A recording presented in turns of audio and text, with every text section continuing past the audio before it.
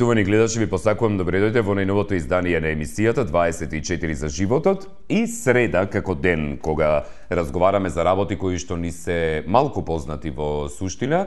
А, денеска одлучивме со оглед на тоа дека е пролет некако повесели теми, а оваа тема, иако може би навидум од една страна е многу сериозна, од друга страна мене ми делува весело за, за поради а, нештата за кои што ќе разговараме, а тоа е поинакво толкување на бајките а, или а, ќе ги разгледаме од друг аспект ангелите, еднорозите и самовилите. Знам дека може би не очекувавте такво нешто, но верувајте има луѓе кои што токму на тоа го посветиле својот живот, а, кои ги разгледуваат и ги објаснуваат а, а, овие Впрочем, би рекол бајки, а, од аспект малку поинаков од оној за кој што ние зборуваме. Значи, ангели баш во онаа смисла на која што и помислувате религиозно, да речеме, а, по однос а, на нив, а, еднорозите и самовилите ни се може, самовилите кај нас а, во а, нашите верувања се многу попознати отколку еднорозите. Така што веројатно ќе посветиме внимание на ангелите и самовилите повеќе и на еднорозите ќе им дадеме доста а, впечаток поголем. За почеток, уште од старт да кажам, емисијата, ја гостинка во емисијата ние а, ни доаѓа гостинката од Хрватска и ќе се зборува на својот мајчин јазик на хрватскиот. Толкувањето од хрватски јазик ќе ни го прави нашата пријателка на емисија Велена Антоновска Едизер, бидејќи многу повеќе ја разбира темата а, по однос на поимите, а јас, освен што на македонски ќе ги поставам прашањата, со оглед на тоа дека гостинката колку толку разбира на македонски, а, но ќе морам да се преведам сами на српски. Имате потполно право потоа да, да ме исмевате, доколку смешен ми е српскиот, и да одвадите извадоци да ги ставате на YouTube и народски кажано ми ги младите да ме тролате слободно. Бидејќи српскиот го познавам, но не толку добро како што го знам англискиот за да можам да се преведувам. Простете ми од старт за грешките. Ана Кубла, Центар за личен развој True Self од Хрватска. Добар ден. Добар дан. Како си, Ана? Добро, хвала. Се разбираме одлично. Може на македонски. Да. Ана, за почеток, може ли првично да, да ги објасниме сите поими поединечно? Што се ангели, што се еднорози, што се самовили? Ке почнеме со ангелите. Ме разбра? Да. Одлично, не мора да се преведувам. Повели. Dakle, osnovno anđelima, o jednorozima i o vilama. Значи, ќе зборуваме, ќе ги дадеме основните информации за ангелите, самовилите и еднорозите. Šta su anđeli? E, Što se e, angeli? Anđeli su bića koja e, je Bog Ангелите се poslao битија e, кои што da budu Бог uz ги nas i da пратил nam да бидат pomažu со u bilo нас и да čemu ни što nam treba помагаат u во ovom било што што ни е životu. потребно во овој живот.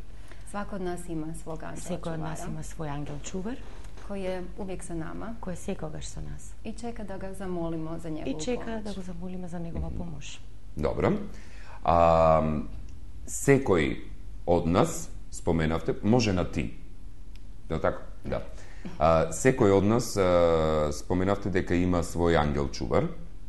А, но зошто ние не го гледаме? А, zашто, го- зашто го не можеме видети? Zato što su uh, anđeli um, Zato što angelita posebna um, biće posebno visoke e, energije koju mi ne možemo vidjeti svojim koja očima. ne možemo sa mhm. svoje oči da vidimo. Možemo da ih osjetiti. Možemo da ih počustujemo. Možemo ih vidjeti unutarnjim okom. Možemo da ih vidimo sobno obnatrišno to oko. Neki ljudi čak i kažu da vide fizičkim Neko okom anđele. Neko je ljudi da koji su fizički to oči gledat angeli. To su ljudi koji su posebno osjetljivi da vide više sfere. No to je se uvijek koji što se posebno čustvitelni da ih vidat po visokite sferi. Mm -hmm. Kako da staneme luge na povisoka frekvencija koji što bi možele da gi vidat angelite? Kako da postanemo ljudi koji može vidjeti anđeli? Um, dakle, um, naša vibracija, znači mm -hmm. razina naše um, energije, znači, visina naše svijesti, naša ta energija, ovisi naša ta o osjećajima i energijama koje, koje mi gajimo u sebi. Zavisi od čustvata i uh, ako smo u strahu, nije, kaj sebe glije, ako smo uh, u osjećajima oskudice, nezadovoljstva, um, nezadovoljstvo, tuge, patnje, boli, e, naša energija i svijest jako niska. energija i svijest je mnogo uh, niska. E, a ako um, radimo na sebi... No, ako radimo um, na sebe, себе, I više smo u ljubavi, više smo Iako u smo radosti, poveke во љубов, во радост, sreći, во zadovoljstvu. sreќа и задоволство. Čak i bez obzira na to što nam se Дури и без оглед на тоа што од се Нашата viša енергија i približavamo е se се božanstvim повисока, razinama. свесноста I е puno smo повисока и се приближуваме кон божествените нивоа ih и на светот на ангели. osjetiti ili čak i vidjeti. Да можеме да ги почувствуваме, па дури и да ги видиме. Од кога добиваме ангел чувар во животот? Od koga dobivamo anđela? Не, не, не. А, од кад? E, e, udaha s nas od na prviот ovoj zdih razini do Во zadnjeg овој izdaha, свет, dakle до cijeli život. последниот здив во овој живот. Ке научиш македонски, гледам добро ти оди. Научиш македонски. bi ti mi ide. drago. Ќе ми А, драго да научам македонски. Така. Дали се postojano so nas? Da li imat lik nekakov? Da li imat li krilja? Jesu anđeli stalno s nama? Jel imaju krilja? Sve to. Malo da više objasnimo, povijek da objasnimo. Pa, e, u, vizualnom smislu, pa e, njihov oblik. E, anđeli se prikazuju u literaturi, u, u umjetnosti, sa krilima, u ljudskom obliku, ali to nije njihov i to nije njihov pravi izvorni oblik, oni su čista svjetlost, tako da se oni nama odluče prikazati onako kako osjećaju da je nama blisko, da ih vidimo i da ih osjećamo i komuniciramo s njima. Близко и удобно, за да можеме полесно да комуницираме со нив. Добро. Čak i nemaju krila. Не? Немаат крила. Не. Е, тоа е изненадување. Da, znam da je. znam Da, da, znam. je. А може би и разочарување. Znam da je. E, ono što nama izgleda kao krila je zračenje svjetlosti iz njego, njihovog Оно што нас не изгледа како крила е зрачењето на светлина од нивната срцева чакра, бидејќи нивното срце е во потполна безусловна љубов. Е, тоа веќе има некаква логика. Но а, човештвото денес, а, луѓето денеска, а, може би се во еден многу поразличен развој на, на својата свест, кога повеќе се одвојуваме од фреквенцијата на овие нешта, да речеме на ангелите, или се приближуваме. А, Јел данас човечанство а, се више приближи а, анđелима или ове фреквенcije на кои они раде, или се више одблачи од нив? Sada smo e, u vremenu kada se približavamo e, Sada smo во време frekvencijama кога се приближуваме e, на i anđeli нивните su puno фреквенции prisutni nego ikad и тие s се nama. се повеќе присутни e, нас. kolektivna svijest čovječanstva Бидејќи колективната свест на Znači, човештвото расте. em, Нашата и чувството više за raste, tako da љубов se се vraćamo повеќе и polako повеќе onoj расте, така што се u nama i anđeli su враќаме на изворот на љубов кој што е во нас, а со тоа и ангелите се поблиску. А jesmo ikada imali а, вишу колективну свест него ову данас? Дали некогаш сме имале поголема колективна свест од колку оваа денес?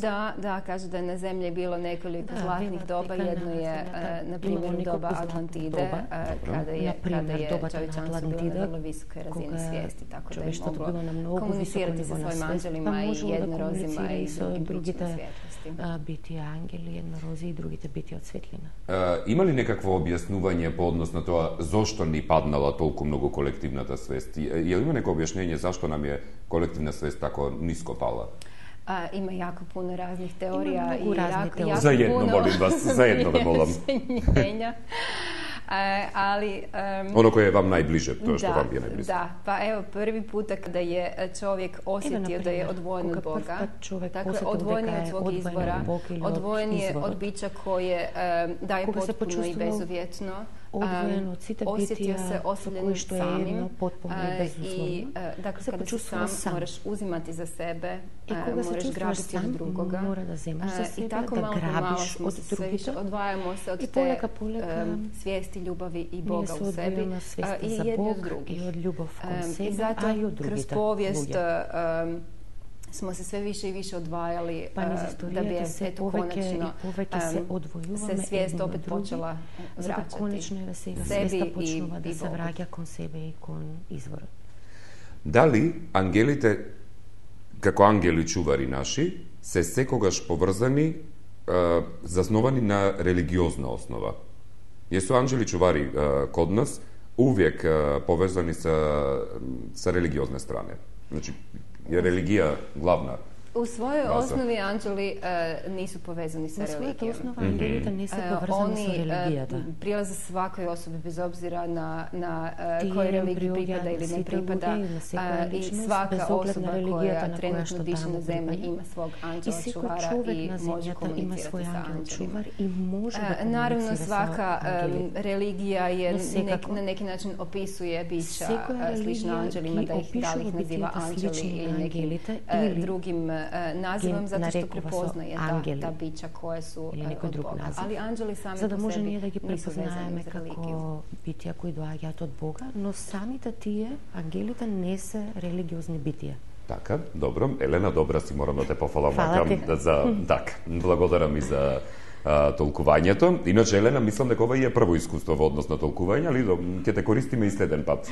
Одлично. Да, не ја гледате, вие си правиме ние тука муабет во студио, нема врска.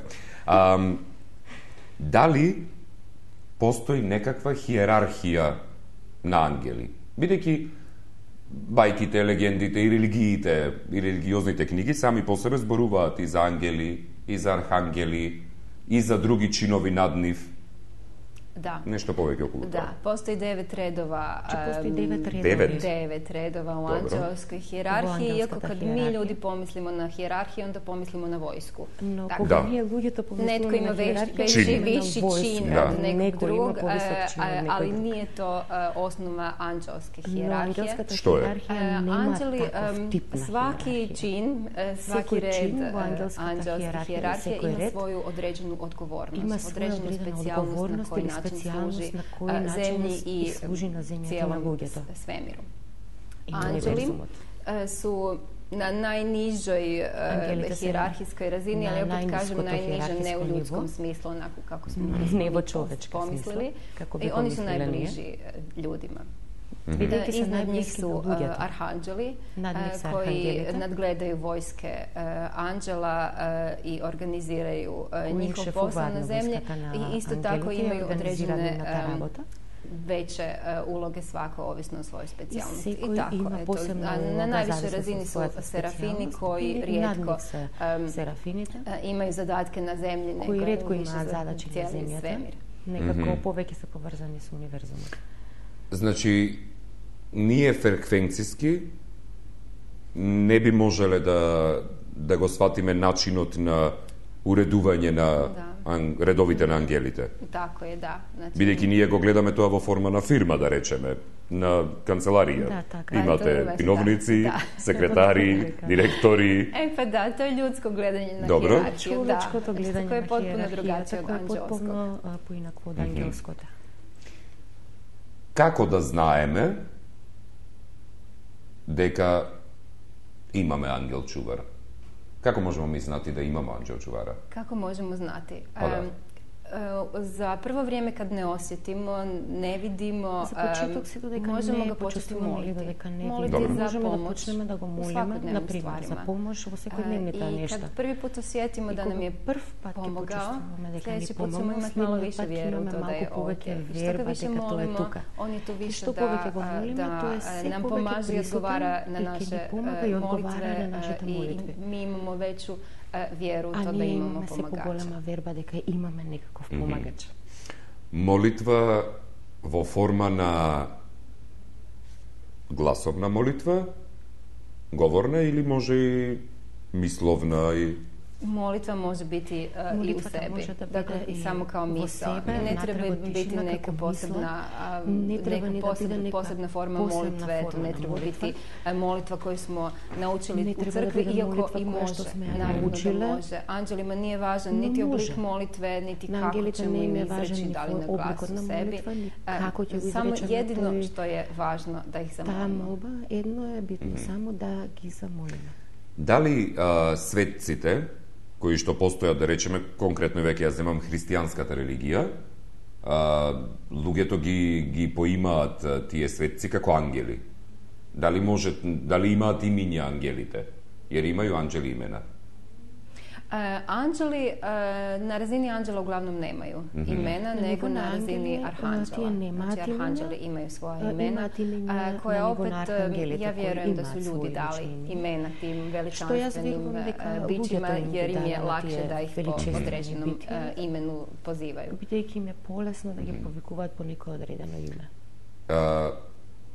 Postoji samo jedan angel čuvar, или може да има човек и повеќе? Možemo imati i više anđela Можеме да имаме и jednoga. повеќе ангели чувари. Колку?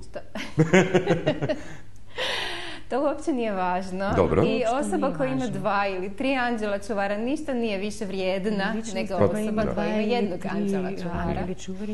E, sad ću se malo našaliti, možda bi trebali više pomoći. Ne, Dobro. to je samo šala. E, ne, doista nije, nije važno ponekad e, neka osoba ima tri e, anđela čuvara, ponekad samo jednog, ali evo to... Različno je, Ponekad ima tri, ponekad ima jedan, nema posebno značenje. Nema to je. Добро. Ке направиме пауза за реклами, па ќе се вратиме во студиото со други работи поврзани околу еднорозите и самовилите.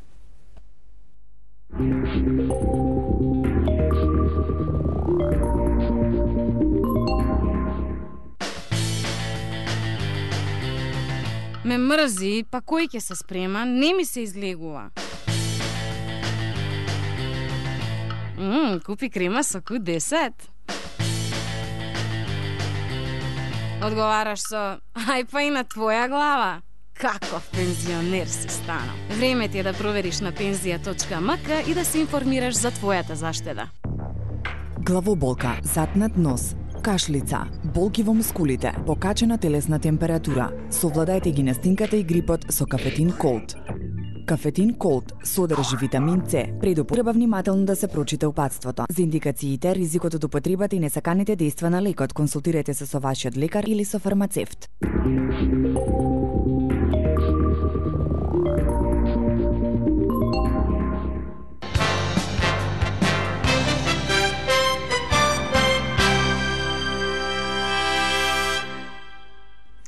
Поинакво толкување на бајките, ангели, еднорози, самовили, веројатно има и други работи, ќе ни ги спомене а, нашата денешна гостинка, а, но ние повеќе се фокусираме токму на овие.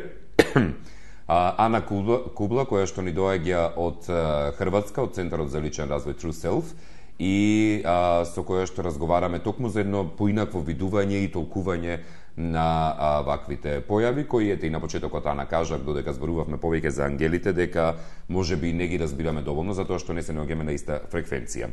А, толкувањето од хрватски јазик ни го врши нашата пријателка на емисијата, Елена Антоновска Едизер, која што пак доаѓа од Центарот за личен развој Лукс Интегра, со кој што, прочем, а, во соработка со нив го направивме ова гостување. Ана, а, пред да преминеме на еднорозите и самовилите, Како одговарате а, на прашањето на луѓето а, кои што ќе ви речат како сега тоа постојат така, ангели вистина? Бидејќи имате луѓе кои што едноставно не размислуваат ниту веруваат во во такви работи. Како одговарате на питање кад вам луѓе а, кажу да не веруju анџелима и да е тоа глупост? A čini mi se da, da, da su bili takvi pitanje u životu. Pa, da. Mi se čini da kad ste imali takve prašanja u životu. jesam, jesam. Ali ja pustim ljude da vjeruju u ono što vjeruju. Dakle, ako vjeruju da je to glupost, ja ih ne želim razuvjeriti što. Tako? Ja nemam namjera da ih razumijem. I znam da i oni imaju svog ančala čuvara. I znam da i ti imaš svoj ančala čuvar, tako što je dakle, nebitno. Znači, s izvinom, znači ne se obiduvate da, da gi razubedite ili da gi ubedite Uh, uopšte se ne trudite da ih razobedite? Ne. ne. Dobro. ne, zato što vjerujem da svako ovaj, ima pravo vjerovati ono što želi. Tako da, eto, ako želi promijeniti, onda će mi drugačije postaviti pitanje. Tako da. A, kako, na primjer? Ako se ljubopitnik, mogu postavati prašanje. to na drugi način kako da znam da možda ipak postoji moj anđel Naprimer, čuvar? Kako ili... da znam da ga se ipak postoji pa moj Jesam li čuvar? baš siguran da ne postoji anđel čuvari? Ali nekako, da ga e, ne kad više ta, e, to čvrsto vjerovanje da ne postoji ništa tako, mm. se poljulja na neki način, e, onda se pitanje malo drugačije. U ovaj, momentu, od koga to čvrsto vjerovanje da evangeli da ne postoji, um, e veke razmišljala na neki način, toga veke možemo da odmah u nekoj друг правец на разговор со човекот. Добро. Ајде тогаш вака. Како би знаел јас дека имам ангел чувар? Како би јас знаел да имам ангел чувара? E, osnova je naša, naša vjera. Osnova kao, da je naša ta verba. Um, u bilo kojoj komunikaciji Kako i u bilo koje komunikacije su božanstveta nivoa na svjesnost. Uh, I kad mi počnemo više vjerovati i božanskim razinama, ali na taj uvijek način i sami sebi, uvijek je da uh, si verujemo sebe veš Togaš božanstvenita nivoa na svjesnost se približuje, da nismo sami da imamo sebe uvijek i uvijek je dokaze da kad nismo sami imamo svaki put kad nešto zamolimo, i to nam se da sve više naša vjera се sve smo повеќе и повеќе nismo зајакнува нашата верба и посигурни сме дека не сме сами. Мислиш ли дека во денешно време, а, покрај зголемувањето на колективната свест кај луѓето, а, по однос на овие фреквенции, божествени фреквенции кои не, ги, не сме ги разбирале до пред некое време, мислиш ли дека постојат луѓе кои што ја злоупотребуваат таквата фреквенција во смисла? А, чекај да се преведам до овде. А, јел мислиш да у данашно време да да луѓе кои баш и не верују то а, да постоje ове божанствени разини, а, као анџели, еднорози и виле, а, да можда злоупотребливају а, постојањето фреквенција у, у смислу. Например, да да бараат, да речеме, да дава да, да прават молитва кон своите ангели чувари за зголемување на контото на сметката во банка. Да речеме, а, за зголемување ова, за више пара у животот. Јел тоа злоупотребливање или nije? A, molitva da Због imamo... материјалних добра. E, molitva da imamo više materijalnog e, dobra sama po sebi nije loša. Dobro. Zašto? Молитвата да имаме повеќе E, материјално jer добро e, сама imati ono i e, koliko nam treba i biti stabilni, i sigurni u materijalnom i finanskom Ali ako molimo isključivo zato da e, imamo samo mi i da zgrčemo novac i financijska dobra, onda to nije dobro. A bosanske razine znaju, imaju tu inteligenciju da dobijemo onoliko koliko nam je potrebno i odgovaraju. na molitve našeg čistog srca. И да одговараат само на молитвите на нашето Onoliko чисто je срце. naše čisto, naše srce čisto, uh, toliko će uh, biti odgovoreno na naše molitve. На нашите молитви се Дали одговара од тоа зависи, од- што е нашето срце чисто. Се извинувам, Елена. Дали од чистината на срцето zavisi i odgovor od na angelot, jer od, od čistote srca ovisi i odgovor anđelima. Da, da, zato što Svi čistoća kako? srca je ono što smo na početku mm-hmm. rekli, da je to razina naše mm-hmm. ljubavi i Čistota mira. Čistota na srce to je pokažu, u nama. Pokažu ako smo ljubav, u strahu, mir, ako smo u ljutnji, ako smo u bijesu, naše srce nije čisto. Naše to srce nije čisto dok ne živimo u bolka ili u strahu. Jel to znači da, da su naši anđeli čuvari u, u našim srcama? Da li to znači da ga naši angeli čuvari se u srcu? E, ne. ne. Dobro. Ja da pitam, ne, samo ali, da prašam. Ali naša, naša ljubav je u našem srcu mm. i naš mir je u našem ljubav, srcu. Uh, naša radost je u našem srcu. Radost je u našem srcu. Dobro. Voret, dosta za angelite. Самовилите, бидејќи се многу поблиски до, до нашите сваќања, има доста верувања меѓу народот во Македонија околу постоењето на самовилите. Uh, вие ги нарекувате вили само, кај нас се самовили. Uh, шта су виле? Што се вилите, самовилите? Anđeli, e, Anđeli, e, anđeli e, žive na, na božanskoj razini, ono što se naziva sedmo nebo, e, a vile žive ovdje, ovdje među nama na zemaljskoj razini. Dobro. A samo vidite žive ovdje u materijalnom u materijalnim svijet. Isto tako nemaju fizička tijela kao i anđeli, tako da ih je teško vidjeti, ali ponekad e, možemo vidjeti kao nekakve iskre svjetlosti. No, može mjesto u prirodi, da možda lakše vidjeti ih negdje, negdje čiste prirode. Mhm. Eh, one su eh, ovdje, kako žive ovdje, jako su eh, blizu zemaljske razine, a opet jedan korak više nego što smo mi, jer mi smo ipak u fizičkom tijelu. One znaju kako funkcionira sve na, na materijalnoj zemaljskoj razini i mogu nam pomagati uh, uh, Може imamo да lakoće, да имаме više radosti, поголема uh, više zadovoljstva, леснотија, više радост, ljubavi задоволство, u љубов. svim zadacima koje uh, Во сите obavljamo na задачи ovoj кои што ги zemaljskoj razini. извршуваме на оваа земна земно ниво, во овој земен свет. А, дали тоа значи дека тие се поблиски до нас отколку ангелите? Тоа значи да су а, виле а, мало више ближе до нас nego li Anđeli? E, pa i da i ne. Dobro. Zato što su... Ajmo e, sad da. Tako, Zato što njihov dom je ovdje na zemlji, mm-hmm. isti kao i naš. Zemlji, e, isto, I zato možda su nam bliže. No, e, ali anđeli su također ovdje e, uz nas i teško, teško je to našim ljudskim poimanjem. No, isto našim ljudskim umom nas. Naš um voli sve staviti na mhm. svoje fizičko mjesto. Um. A Božja razina je jako teško na taj način. Sve saka da stavi na svoje mjesto, a to svoje mjesto u obožastvenite nivoje na svjesnost ne postoji. Dobro. А, м, меѓу народот во Македонија, барем од она што јас имам слушано од повозрасните, од постарите а, луѓе, а, се верува дека самовилите малку можат да бидат и злобни. Da. Дали е тоа вистина? Е тоа истина? Um, pa ja ne bih rekla, ali, e, ali da... Јас не би го кажала Суетни тоа малку. така. Malo, malo da, da. Em, Može bi malko, u, em, U carstvu vila ima, isto kao i u, kod ljudi, ima onih koji su malo čišćeg srca i onih koji su malo manje Dobro. Što ima malo počisto srce. E, tako da ima vila koje mogu biti malo zlobne, e, koje, um, iako one imaju, one im, um, osnova im je e, jako velika ljubav u srcima. Mhm. Ali e, ako vide da e, ljudi nešto ne rade dobro, no, posebno vezano s prirodu i životinje, jer su tu jako osjetljive i možda su zaštitnice upravo prirode. Dakle, ako vide ako se, da, da se ljudi ne ponašaju dobro, mogu, na neki način... na to Битија. ukazati ljudima koji На разни начини може тоа да им го кажат на луѓето, што на прв поглед kako може да изгледа како злобно, злонамерно.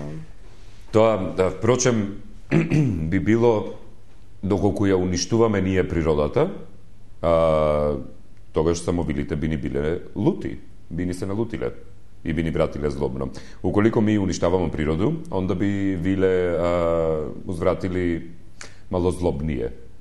Ili? E, pa da, e, zato što oni gledaju, da, da, da, one gledaju kroz povijest kako se ljudi odnose pa da. E, e, Samo i uništavaju i zagađuju e, prirodu i nisu baš, nisu baš sretne. Kako je uništuvati, je zloupotrebovati. Odnos vila i ljudi, ja bih rekla da, da, da, da nije um, um, na toj razini na kojoj bih mog, mogao biti upravo zato što, što vile, um, na visoko nivo, vile gledaju na to kako se ljudi loše odnose prema prirodi. Naši čovječki odnos kon priroda. Ali ali evo kako u zadnje vrijeme se podiže e, svijest i prema uh, isto tako i prema mm. prirodi e, i prema okolišu, vile su sretnije i počinju prilaziti. Tako da svaka osoba koja pa makar u svom svojoj okolini više pažnje obraća čistoći prirode. Um, vila joj prilazi da joj pom- pomože, pomaže И луѓето секогаш имаат помош кога луѓето се однесуваат добро кон природата. Добро. Ангели, самовили. Ангелите и самовилите може би им се поблиски и попознати на луѓето. Ангелите веројатно поради религиската основа, а самовилите поради народните верувања и обичаи. Да. Еднорозите се веројатно најчудната категорија од а, овие три кои што денеска ние ги зборуваме. Како тука се најдоа еднорозите? Ме, мене ми нема логика со ангелите и со вилите да имаме еднорози. Jesu, Da. E, jednorozi su e, za vrijeme Atlantide, kad je svijest e, čovječanstva bila na puno višoj razini, bili prisutni i blizu čovjeka isto kao i anđeo čuvar. I svaka osoba je mogla komunicirati sa svojim anđelom čuvarom i sa svojim jednorogom. Mhm. Nakon što je Atlantida pa, propala i svijest čovječanstva pala, jednorozi više nisu mogli se spustiti toliko na tu da. E, nisku razinu svijesti i oni su se povukli sa ove dimenzije. se povlekuvateljce i Anđeli a, e, su malo drugačije, tako da su oni ostali uz nas. A jedno roze su ostali samo u pričama i bajkama i srtićima. Jedno e, rozi te ostane deo od prikaznika, u zadnje vrijeme kako se kolektivna svijest podiže i kako su molitve ljudi čovječanstva upućene za većom pomoći u razvoju и како u луѓето razvoju се i Битијата ovdje на su s светлината nama da на nam кои pomažu. еднорозите се враќаат на земјата за да ни помогнат. Како? Kako? Jednorozi ovdje su ovdje da nam da pomažu um, želje, željama naše duše. Еднорозите се овде А, да ангели ни су овде да помогнат во помажу врска желјама со нашeg желбите на срца. нашата душа. Dakle, sve ono što А nas, ангелите um, ни помагаат во što остварување nam на treba желбите на na ovoj нашето razini срце. kako bismo, um, kako bismo imali više ljubavi, više sreće uh, Да ни i kako обезбедат bismo се што ни е osvijestili da nismo потребно, samo за да имаме uh, повеќе ljudsko љубов, biće, nego повеќе smo радост božansko biće и koje да uh, осознаеме imamo дека ov- не сме ov- само ovaj човечко ljudski битие, туку doživljaj. сме и божествено битие кој што има Vile некакво su ovdje da nam pomognu u bilo čemu na materijalnoj razini. Dakle, da, da sve što radimo a, da, a, da radimo sa više lakoće, sa više radosti, sa, dječje, za- sa dječjom zaigranošću koju smo Тие се надополнуваат со самовилите кои што ни помагаат да ни да, да ни ги обезбедат сите оние потреби кои што се поврзани со материјалниот свет и сето тоа да го добиеме со лесност и радост. Со, што би се рекло со детска радост, Со Елена. детска радост. Da, А, da. некаде сме при крајот на емисијата. Веќе сме при крај емисија. А, многу ми е драго што научи македонски. I meni isto. И мене исто. а, она што за крај ме интересира, зошто почна да ги истражуваш ангелите, еднорозите, вилите i ostanatite. Raboti koji ih spomnemo neka druga emisija. Za, zašto sam ja počela? Da. što ja spočnav, Zapravo osjećam da, da oni meni prilaze. Dobro. Više nego što sam ja počela istraživati tu temu i osjećaj da su oni meni došli da, da me potaknu da, eh, ih više upoznam. I što ih više poznajem, eh, to više osjećam koliko pomažu. Da, Svako sa svojom specijalnošću i sa, svako sa svojim divnim eh, poklonima. Толку повеќе ми е јасно а, се што е поврзано со нив и поврзано со прекрасните подароци кои што тие ми ги даваат во Но животот. мора да мора да постоел некаков пресврт кога сте започнале да да се занимавате ова пред 17 години ми се чини. Uh, da, Mor- tako, da. tako je, da. da um, da. Šta se desilo пред 17 година па сте Тако е. почели? E, pa imala sam jedan zdravstveni Imaš jedan zdravstven problem pred 17 Kojeg, godina. ova moderna medicina nije uspjela riješiti. medicina nije uspjela Počela sam riješi. raditi na sebi sa raznim tehnikama energetskog isjeljivanja, raznim tehnikama osobnog e, razvoja. I razne tehnike na ličan razvoj. I eto, to je put koji mi je donio I pat e, rezultat, na, rezultat na, zdravstvenom, na e, zdravstveno polje. u tom zdravstvenom pitanju. Ali je to rad i to je svijet koji je ostao e, Но таа e, работа u и meni тој свет e, остана i, со i мене dalje и e, понатаму. nastavio sam. Tako da imam osjećaj da je taj zdravstveni problem bio samo nešto što mi je dano. И имам чувство дека тој da здравствен upoznam проблем се ми беше даден само за да го запознаем овој свет. Што значи на крајот на емисијата? Значи постојат техники со кои што човек може да се запознае со својот ангел, самовила, еднорог.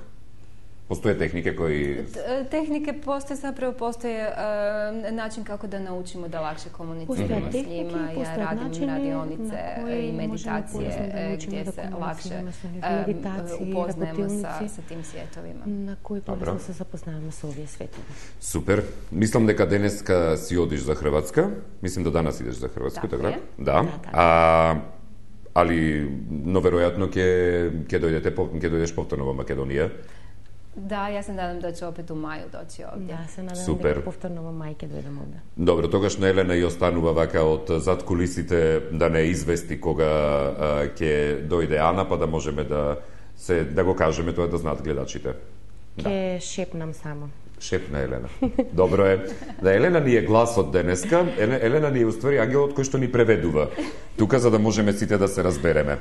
А, ти благодарам многу, Ана, за гостувањето, за издвоеното време а, и за фрлањето по инакво видување и светлина на, на она што се нарекува ангели, еднорози и самовили.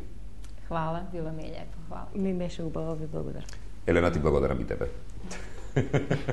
Почитувани гледачи, вам ви благодарам пак за вниманието, за тоа што не следевте, со една малку почудна тема, веројатно, за, за медиумите и затоа, и, впрочем, и така и ја почнавме, едно малку поинакво толкување на, на бајките, ангелите, самовилите и еднорозите, И а, доколку сакате да повторно да ја преслушате емисијата или нешто дополнително, можете тоа да го направите на трипати двојнова.24вести.мк, каде што ќе биде поставена оваа емисија за половина час до 40 на минути и да ја споделите со другите. И на почетокот, како што ви кажав, слободно ако имате зашто да ме зафркавате поднос на преведувањето сам на себе си од македонски на српски, да си го направите тоа, имате дозвола од мене. А, ви благодарам и се гледаме јас и вие за час и половина повторно. Пријатно. Música